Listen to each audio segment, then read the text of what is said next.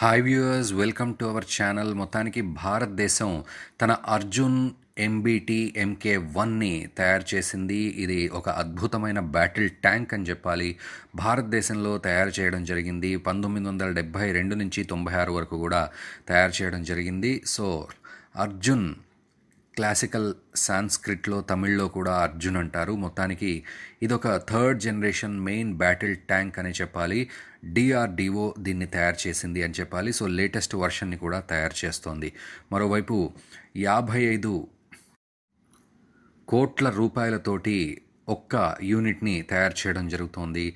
So MK one యాభై ఎనిమిది టన్నుల బరువుతోటి ఒక రకంగా అరవై ఎనిమిది టన్నుల బరువుతోటి అరవై ఐదు టన్నుల బరువుతోటి ఇటు లాంగ్ టన్స్ షార్ట్ టన్స్ తోటి మొత్తానికి దూసుకుపోతోంది అండ్ దీని లెంత్ వచ్చేసి టెన్ మీటర్స్ వరకు ఉంటుంది. సో నలుగురు దీంట్లో కూర్చొని వెళ్ళగలరు డ్రైవరు గన్నరు లోడరు కమాండరు ఈ నలుగురు కూడా వెళ్ళగలరు. సో ఈ రకంగా అద్భుతమైన పర్ఫార్మెన్స్ ఇస్తుంది. అండ్ ఇంజన్ విషయానికి వస్తే MTU MB eight thirty eight KA five nought one ఇంజిన్ని ఇది అసిస్ట్ చేసేసుకుంటుంది అండ్ హైడ్రో న్యూమాటిక్ సస్పెన్షన్ ఉంటుంది.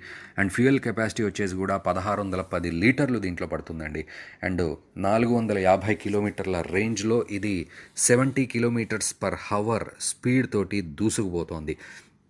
సో మొత్తానికి ఇది ఒక అద్భుతమైన బ్యాటిల్ ట్యాంక్ అనే చెప్పాలి. అండ్ మరోవైపు అటు చైనా లాంటి దేశాలకు ఇది చుక్కలు చూపెడుతుంది అనేది భారత్ చెప్తున్న మాట. నిజానికి భారత్ అన్ని అడ్వాన్స్డ్ వర్షన్స్ని ఇప్పుడు తయారు చేస్తోంది.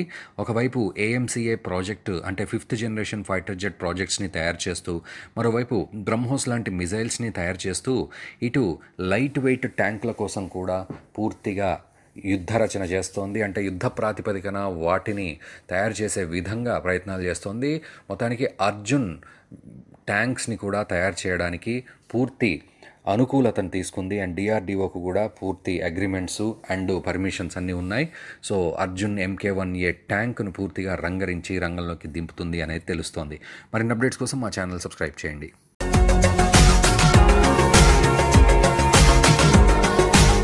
మరిన్ని అప్డేట్స్ కోసం మా ఛానల్ని సబ్స్క్రైబ్ చేయండి.